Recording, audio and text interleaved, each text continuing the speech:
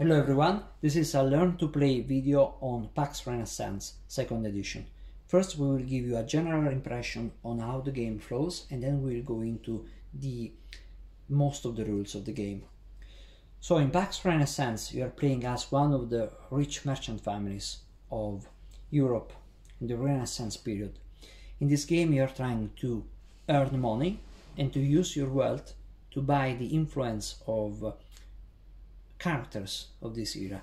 These characters are represented by by cards. You use the uh, abilities provided to you by those cards to achieve your goals.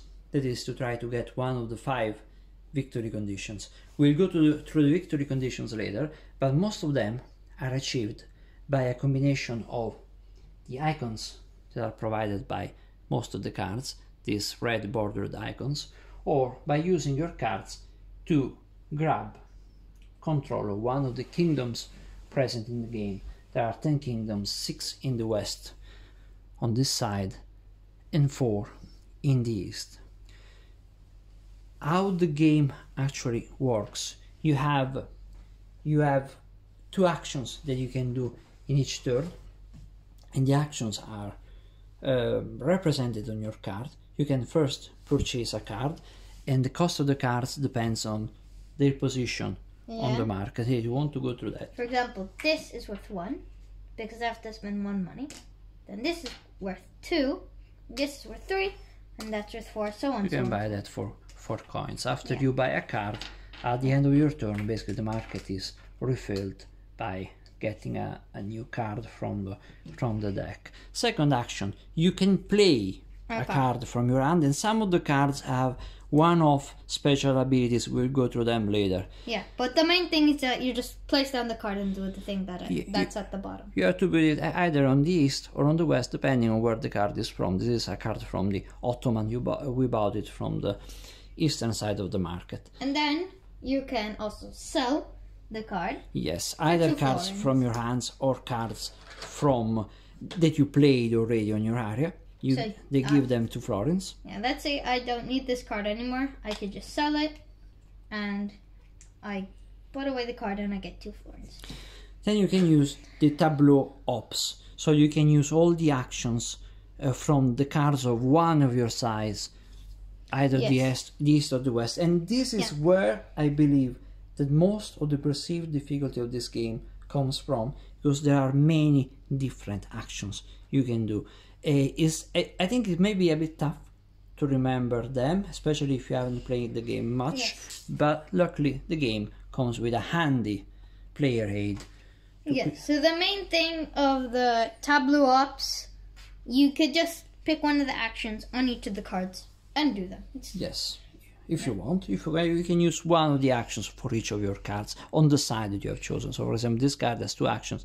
It has a taxation action and a commerce action that we will be getting into later. Later, this and then as a commerce. You action. can do a trade fair. One of the main yes. ways yes. of this game to get money. Yes. So let's say I want to do a West Trade Fair. The West Trade Fair starts here, and it goes along this white trail here. And when it's when you have one of these minifigures here, it gives a coin to the player. And continue here, gives another coin to that player. So basically, we distribute the coins yes. that are on the leftmost guy. We first add one coin yeah. into the one coin to the person that called it. We add two coins if we are three or four players. Yeah, okay. well, we aren't. And then we distribute whatever is there along the route. Yeah. So we are like, and he gets coin. So then we continue, and he gets coin. So these are these tokens here. They are your trade concessions. You are your trade agents. Basically, you you play them. Uh, some cards allow you to put them in place and you want to have the most of them as possible because basically they allow yeah. you to because, earn money. Yeah. And they are part of one of the victory conditions. So one of the victory conditions depends on having the more trade concessions on everybody else. So uh, this is basically how the game works, turn by turn. We have to go now through the so, actions and through the victory conditions. Yes, so let's start with the victory conditions. Uh, uh, let's start with the actions first, no? no? Because the victory they, conditions. Because in order to understand the victory conditions, you need to understand the, actions okay. first, I believe. So, uh, very quickly and very simply, without going into too much details, let's start from the one-off actions. So some of the cards. Start with the Inquisitor, going in order. The Inquisitor, this action here, the blue action here. Oh, let's go from let's start from the one off. No. So the one at the bottom. Yes, because there are two actions. There are the actions that you do once you play the card, and yeah. that's it. And then there are the abilities that you can use and every turn, in principle, by using the tableau ops. Okay, so the ones at the bottom, they're very simple. So let's say I buy this one, the Spice Island. This allows me to change the trade route. So you know the way earlier when I was going here and delivering the money here. But if I play this card and I meet its requirements, I change the trade route to the Spice Islands. So this allows me, let's say if I had more people up here, I would get more money than if I would go here. Yeah, so in principle, you want to change it in the way that, that is more convenient yeah, for you. More this, convenient to yourself. And this sort of cards usually also allow you to put tokens in place. Now let me just show the token. So most of the cards will allow you, if you want, to place some token in the region represented by the cards. Yeah. Okay. And then another thing that we forgot to say on the trade route is that whenever it passes by through the places, in all the places that it passes by, we add an extra token oh, to yes, that place. Forgot that. We forgot that. So in previous example, we had two coins to distribute. The trade routes was starting. Uh, trade route was starting from the the, the western side. We drop one coin to the first concession that we meet, a second coin to the last concession yes. that we that meet. That means that we're going to put one person here, another person a levy. Here, more troops. Yeah, more troops. More troops along the path. The so, knights and rooks represent yeah. uh, armies. So whoever is calling the trade fair will deploy one levy of, of their choice on one of the empty slots. And then we are going to pass by to the coronation action. action. So this coronation action right here, the one with the crown, it allows you to get a king. So let's say I place this card and I play. I can incarnate one of the people that are shown here on this side of the card. So Portugal, Aragon, France, Holy yes. Roman Empire. So let's say I wanted to choose France. I would just grab it. Grab France and just place it here. No, I have the king. But you let's say somebody already owned the Holy Roman Empire. I cannot grab the Holy Roman Empire off of that person. Yes, from with the coronation action, you can only get kingdoms that are still on the board. Yeah, and and you can. So basically, you're using your money to buy the friendship of a queen that will allow you to basically control a kingdom. Will control. Yes. The, the it will allow, allow you to influence her husband. Every time you get, grab a kingdom, Either with a coronation, that is the easiest way, or with another action, you can place one of your concession close to that kingdom. So if you take France, well, I should take a, another another pawn, yeah. but basically I put one of my pawns next to France. It allows me to get more money during yeah. the trade fairs. No. All the other one one one off actions, they are all attack actions, and there are uh, three of them. No, do you want to yeah, show the play? Yeah, we'll explain those later. Um, so for now, um, I just want to say that the actions at the bottom, you can only use them once. You yes. cannot use them more than one time. And then for the conspiracy. Yeah, no, so, let's not let's not give in, uh, let's not go into much detail on each of them. Let's just uh, give a quick overview. Uh, these are the one-off actions represented in the in the player aid. We went through the the uh, trade shifts. We went through the coronation. The other three are attack actions, conspiracy, peasant revolt, and crusade, and they allow you basically to take over one kingdom, even from one opponent. They have different conditions uh, that are explained on the player aid, so basically you depend you have to compare your attackers, the agents that you have that are usually the agents represented by the card. So this card or at least provided by the card, so this card allows me to launch a conspiracy with two additional rooks as attackers. If your attack is successful, there's there's no dice uh, to be thrown here. It is immediately clear whether you're going to win or not. If your attack is successful, you're gonna grab the kingdom for yourself and add it to your tableau and place one of your, your concessions around it as usual. The last one shot action is the apostasy. Yeah. So So the apostasy allows you to let's say I had um just for this. Can I find a card? Um yeah, let's say I had the Mus the Ottoman Empire and I also had um just find a card. So and I also had a Catholic card, right? So cards that provide you with religious yes. icons. What would happen here was that if I have these two religious items, that would have been the Catholic and the Muslim icon, as would be shown here. There's a Catholic. Catholic. This the, the Reformed. Yeah, the Reformed and the the Muslim icon. These two cards would get discarded from my hand and yes. into the discard pile. So if you apply an apostasy and you decide to activate the apostasy ability, everybody who has both cards, so cards with both of those symbols in your in their tableau, they lose both of those cards. So they say yeah. all of the cards with with those two symbols. Yeah. So this this is sort of like the the deep the the the like a debuff to some like very good cards. For example, the Ottoman Empire, which is one of the strongest nations. Yes. Its debuff is that it's it's a religious nation.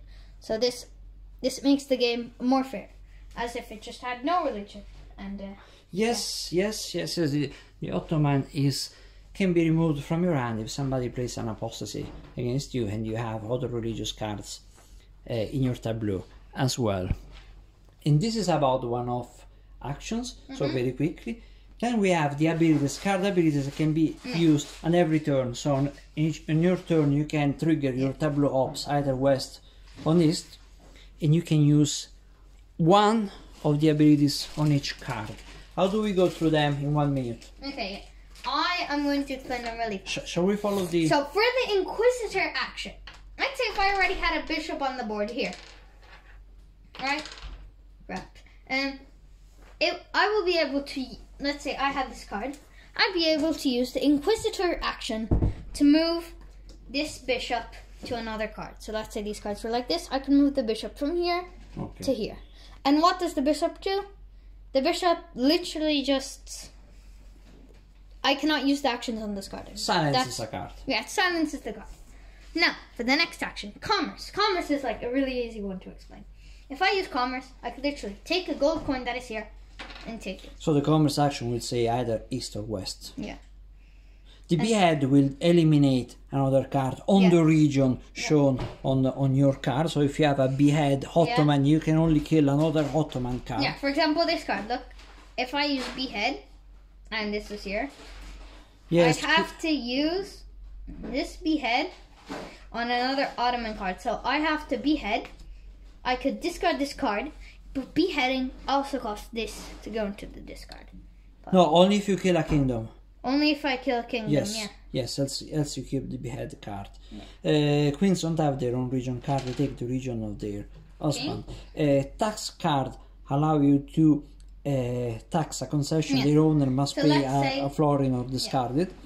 The repress mm-hmm. allows you to get to repress one token and grab one money uh, out of it. So the re repressed tokens count for some of the attacks for the conspiracy. The repressed pawns are used for peasant revolts and the repressed armies are used for noble conspiracies. The vote is used to use your concessions bordering yeah. a state to take control yeah, let's say if I owned Papal States, I could turn Papal States from a king to a republic. So this you can do with any of your attacks. But with vote, you can also grab papal states from one opponent. So if you have papal states and I have more concessions around it, I can vote and take it away from you.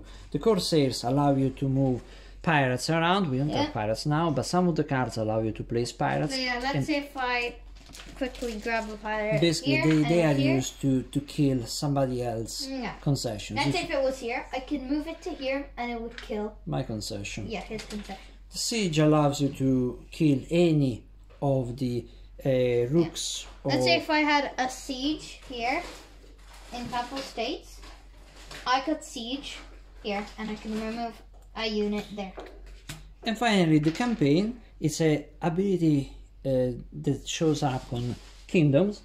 Yeah. It allows you to attack a bordering kingdom. So the campaign uses knights. You have to pay it. You have to pay one coin for each knight that you use. Right, if you have yeah, mm. let's say if I were if I own Aragon and I wanted to attack here, I'd have to spend one florin to attack Portugal, and both of these would eliminate each other.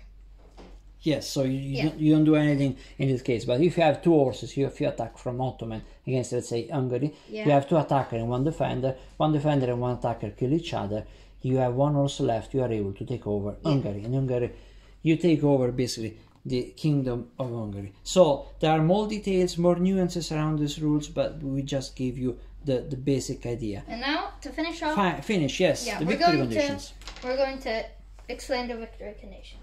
Now, for the Renaissance victory. Let's start with Imperial. That's the easiest. No, no, we'll do an order then. So, with to own, you have to own the most republics. So you'd have to own the most cards it, that look again, like you this. get a republic by attacking one of your own kingdoms. If, if you flip that into a republic. And then you also have to have two more law icons than everybody. Okay. So these these lady with the balance here, yes. and some some um, places also have a law icon. Yes. Which is good for. And now that we've done the Renaissance victory, we will explain the globalization victory. So you have to have more ship icons and plus two concessions than everybody else. Yes, good. Very simple. And for this, Really easy. You just have to have two more kings. This is not republics, to just understand. kings. The easiest to understand, not necessarily the easiest to accomplish. No, our first game we played with only Imperial yeah. Victory. Now this is the most complicated. Most complicated one. to understand. You have to have the supreme religion. So in other words, let's let's say that they're the Muslims have. So, so re, you have to look at the religious kingdoms at the beginning of the game only Papal State is religious and Mamluk. This is Catholic, this is Muslim, but this can change if you use religious wars. Any of the kingdom, kingdoms here can yeah. become religious. And so, in other words, the person, the religion with the most bishops and the most icons out on the board is the superior uh, religion. With the most bishops and with the most troops. tokens, troops, army tokens on their cards. For example, now I think it would be the Muslim. Yes. Because they have the most people. So for the most for the for Islam to be uh, superior, it must have the most token. So there should be none here at the beginning of the game, and at least the, the most bishops in play. In this case, this will be Islam will be the uh, superior religion, the religion with supremacy. If you have more cards with the Muslim token, with the Muslim icon, where where is one? Um, here. Ottoman, perhaps. If you have the most cards with the Muslim icon, you can claim victory for yeah. yourself. And then another interesting, yeah. The, the default victory, yeah. if none of the victory conditions are achieved, by the time all the cards are uh, finished here, whoever has the most uh, art icons, statue icons, wins the game. Yeah.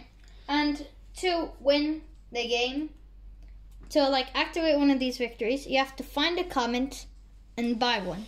Yes, that's very important. To buy the comet, when you buy a comet, you can activate any one of these. Because at the beginning of the game, they are all locked. You cannot use yeah. one of them. For so sure, for example, the comets are somewhere hidden in this deck yeah, around no. the bottom I of the deck. I didn't put them there. Yeah.